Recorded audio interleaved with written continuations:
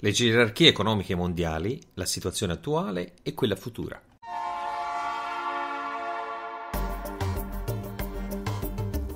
La Finanza Amichevole, il podcast che semplifica il concetto ostico della finanza per renderlo alla portata di tutti, curato e realizzato da Alessandro Fatichi.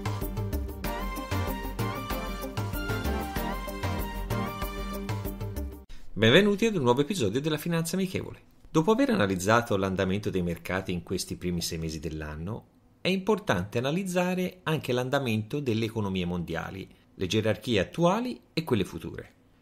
In questo momento storico prendiamo atto del cambiamento che sta avvenendo nella classifica a livello mondiale. Si sta passando dall'Europa all'Asia a livello di importanza. A fine anni 90 nella top 10 si trovavano 5 paesi europei la classifica vedeva in testa gli Stati Uniti, seguiti dal Giappone, la Germania, Francia, Italia, Regno Unito, Spagna, Canada, Russia e Cina. Già negli ultimi anni abbiamo visto il rallentamento del vecchio continente, con gli Stati Uniti che rimangono in testa alla classifica, seguiti dalla Cina che sta eh, recuperando terreno, Giappone, Germania, Regno Unito, Francia, Italia, che ancora resiste tra i primi dieci, Brasile, Russia e Spagna. Questa classifica sarà ulteriormente stravolta in base alle previsioni che ci sono nei prossimi cinque anni. C'è da dire che il Covid-19 ha accelerato questo processo in atto a scapito dei paesi europei, i quali scontano processi economici superati e regole troppo antiquate per stare al passo con i tempi. Secondo le previsioni della Banca Mondiale, nei prossimi cinque anni la Cina sorpasserà gli Stati Uniti che scaleranno al secondo posto, terza l'India, a seguire Giappone, Indonesia, Russia, Germania, Brasile, Regno Unito e Francia, passando negli ultimi 30 anni da una bassa crescita in Europa, per non dire nulla in alcuni paesi come l'Italia, a una forte crescita per i paesi asiatici.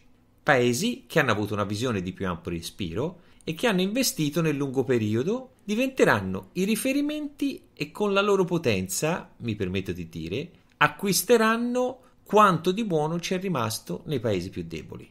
Oppure acquisteranno le materie prime presenti in quei paesi, come del resto ha fatto negli ultimi decenni la Cina con alcuni stati dell'Africa, avendo bisogno appunto di materie prime, sono andati a colonizzare dove potevano reperirle questo serve per capire cosa ci aspetta e quelli che sono i paesi che avranno maggior sviluppo e crescita futura.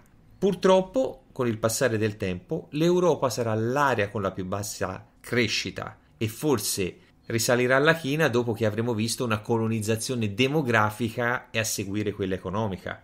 Per questo vi rimando alla puntata del 17 marzo 2019 intitolata La colonizzazione dell'Italia dove analizzo la situazione del nostro paese e il suo futuro. Questa puntata, tra l'altro, fa parte di un articolo che ho scritto nel 2014, quella che era stata la mia visione risale a qualche anno prima.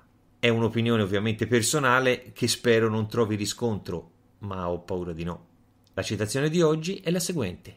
Non sono un paranoico milionario fuori di testa. Per Dio, sono un miliardario. Howard Hughes.